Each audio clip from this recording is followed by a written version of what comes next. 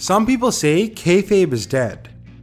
I agree that it isn't as important as it used to be, but many, including myself, appreciate when a wrestler stays true to character in the heat of a promo or match. Today, the character is just as important as in-ring ability, thus adhering to kayfabe is crucial when performing. This video will cover 5 times wrestlers shockingly broke character. Triple H and Undertaker went to war for the second time at consecutive WrestleManias. With Shawn Michaels as a special guest referee, the trio put on a great performance for a match that was billed as the end of an era, meaning it was the last time these men would be in the same ring together. Now after Undertaker emerged victorious, he couldn't help but embrace Triple H and HBK at the top of the ramp, in a moment that will be remembered forever. The immense show of respect here was amazing, but completely out of character for both Taker and Hunter. You ever been hit with a battery? Okay, probably not, but they're hard as hell and must hurt a ton. Shawn Michaels learned that the hard way when a fan threw a battery from the crowd that hit HBK right in the forehead. Michaels was understandably in pain and pissed off, but what happened next wasn't expected. Shawn would just stop in the middle of his promo about WrestleMania 14 and leave. Yup, he just called it quits and went backstage, of course, breaking character in the process. Side note, how good was that fan's aim? For most of his career, Triple H has been a heel, and it was no different when he led the Authority a few years back. During an episode of Raw in January 2015, he was sitting ringside during a match. A young fan near him began chanting his name, but being a heel and all, he told him to stop. The 8 year old boy got upset and started crying, which caused Triple H's fatherly instincts to kick in and go comfort the boy. He tried cheering the kid up, as did Stephanie McMahon when she realized what was happening.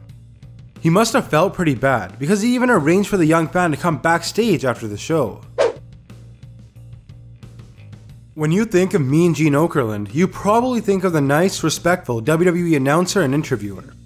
Well, back at SummerSlam in 1989, the world got a look at the real Gene Okerlund. Just as his live interview with Rick Rude was starting, a sign behind Okerlund fell down, causing a loud bang. Okerlund, startled and all, yelled out the F word for everybody watching to hear. Now, of course, this was more of a reaction than anything, but Gene still broke character, and WWE commentator Jesse Ventura would use it to berate him immediately after. Before we get to number 1, here are some honorable mentions.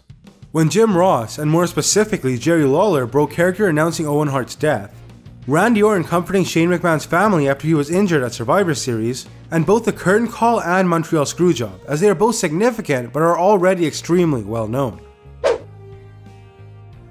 The Undertaker was a certified American badass, but he's more well known for his dark, mysterious character who is devoid of any emotion. That's why it's so surprising when he actually breaks kayfabe, but when he does, you can be sure it's for a good reason. Back in 2008, WWE was having a proper farewell for Ric Flair on Raw, where many superstars and veterans came to see him off. At the end of the night, after the show went off the air, The Undertaker came down to the ring. Here, Undertaker would offer the Nature Boy the highest level of respect he could. He knelt down to Flair. Following this, the two embraced, causing the dead man himself to tear up a bit. It was an amazing moment where I'm actually glad Undertaker broke character.